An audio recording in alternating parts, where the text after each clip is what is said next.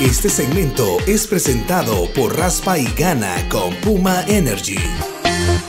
La Mesa Intersectorial de Salud se reunió este día con el objetivo de tratar asuntos muy importantes que van enfocados en prevenir algunas enfermedades endémicas en nuestro sector. La Mesa Intersectorial de Salud ha estado funcionando y hoy habíamos quedado ya en reunirnos a las 2 de la tarde para siempre seguir tratando la problemática de las enfermedades epidemiológicas de arbovirosis, en la cual nos sentimos satisfechos porque no tenemos casos alarmantes, hay algunos casos que otros y es debido al trabajo que se ha hecho conjuntamente. Luego estamos también en el trabajo eh, previo al carnaval que hay que realizar una fumigación para que nuestra población no vaya a ser afectada, en donde la municipalidad les está donando 35 galones de diésel y 9 de gasolina. También hay algunas instituciones que no se están haciendo presentes. En la reunión de la mesa intersectorial, se les ha enviado invitación y bueno, no han llegado, pues vamos a irle a visitar una visita cordial, ya tenemos la fecha. Otro de los compromisos es también de ir a visitar el centro de salud de la 24 de mayo por el problema de agua que nos están informando. La Comisión de Salud se va a hacer presente allá, la, eh, Comisión de, Salud Municipal se va a hacer presente al, Centro de Salud para supervisar cómo está lo de, eh, lo de ese líquido vital y tan importante como es el agua en una institución como ella. Luego, eh, también Aquí se discutió lo que es el plan de vacunación, de la jornada de vacunación que va a iniciar el 6 de mayo con un desfile del cementerio y va a culminar con un programa en el Kinder Celia.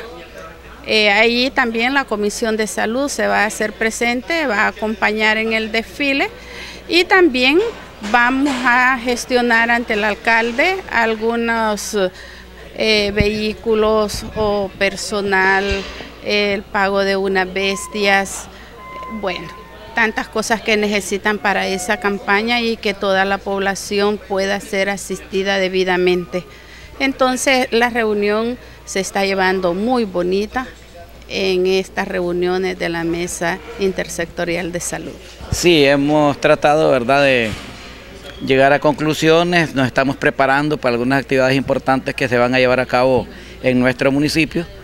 Entre ellos la que está a las puertas, ¿verdad? Es el Carnaval del Jamo, en la cual pues eh, estamos ya realizando algunas actividades previas a esta, esta fiesta cívica, ¿verdad? De nuestro municipio, como ser eh, la inspección directa, ¿verdad? En los lugares donde se va a haber alta concentración poblacional, con el fin ¿verdad? de evitar que haya proliferación del mosquito Aedes aegypti que transmite el dengue, eh, también el Zika y el chikungunya. Em, para evitar ¿verdad? que si viene una persona infectada, pues nos vaya a infectar un mosquito y se quede y nos vaya a ocasionar un brote de altas magnitudes en la ciudad. ¿Para cuándo se tiene programada la fumigación y cuáles son las zonas que ya se tienen identificadas? Bueno, hemos empezado ya con todos los técnicos de salud ambiental y el otro apoyo que, hemos, que estamos teniendo por parte de algunos miembros de COPECO.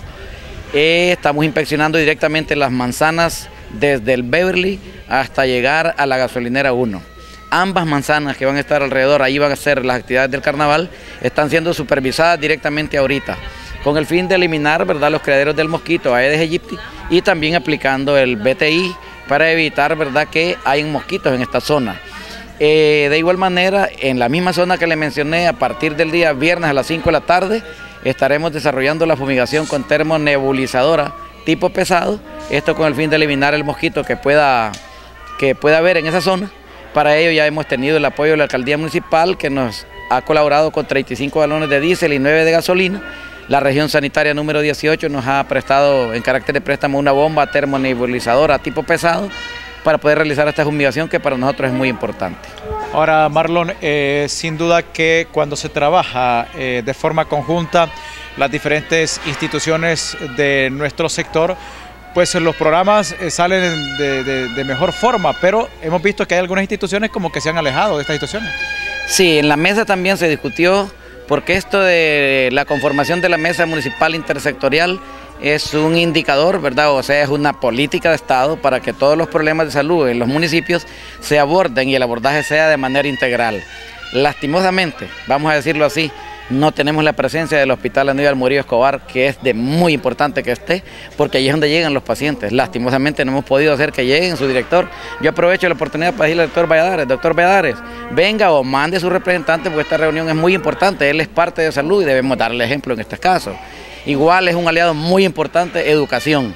No hemos podido lograr que eh, la Secretaría de Educación, representada a través de su distrital, llegue a las reuniones, ¿verdad? Entonces hemos tomado a bien ir hacerles conciencia. El 6 de junio está programado ir a estas instituciones, hacerles conciencia que se integren, porque el aporte que ellos pueden dar para preservar la salud de los habitantes de nuestro municipio que tienen ellos es muy importante. Entonces, esperamos nosotros que ellos nos ayuden ya y entre todos, porque no se sabe quién puede ser perjudicado, hasta puede ser un familiar nuestro.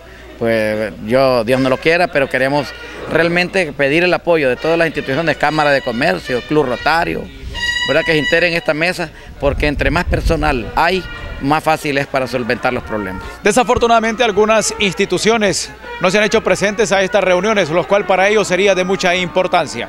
Para Canal 32 con la cámara de Mario Luis Meléndez, es un reporte de Carlos Sobán. Este segmento fue presentado por Raspa y Gana con Puma Energy.